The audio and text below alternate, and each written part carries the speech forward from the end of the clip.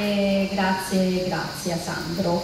E finirei il nostro giro con il punto di vista di un'amministrazione comunale eh, di Cecina e quindi passo la parola a Domenico Di Pietro che è assessore al sociale del comune.